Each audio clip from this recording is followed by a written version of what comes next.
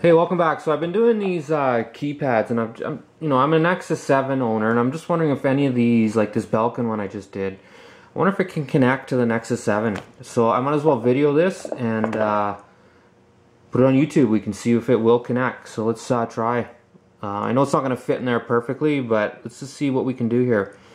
So let's turn the Bluetooth on this, turn the power on, and hit the pair switch. Okay,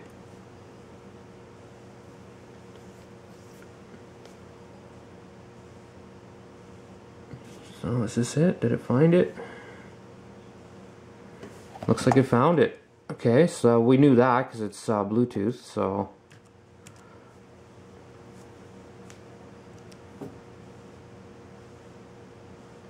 There. Okay, so now the Belkin uh, Bluetooth keyboard is connected. So let's just set this in.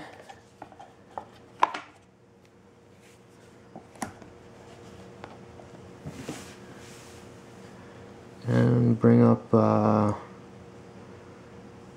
I have no landscape uh, mode in here sorry. Let's bring up Gmail. Let's uh, make a new email here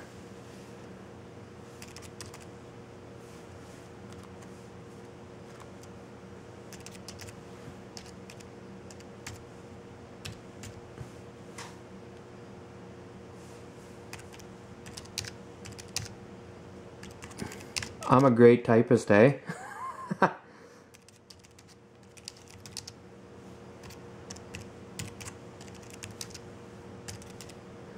okay, so now we know it works with the, uh, it works just, well, backspace doesn't work. Enter works. Um, lock key works. Nice. Oh, that's cool.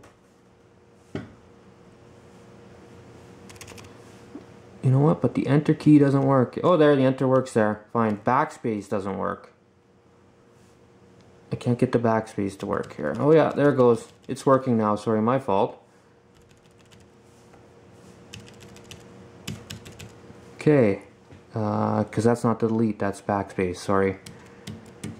Okay, tab works fine. Space. Yeah, everything seems to work. Enter. So if you're ever looking for a uh, wireless keyboard, a Bluetooth keyboard for your uh, your your seven inch uh, Nexus 7, uh, consider this Belkin one. It seems to work well. You can even hit the uh, home button here, which is uh, made for I guess Apple, but we can also hit that as well, and that'll take us to our what takes us to our home screen as well.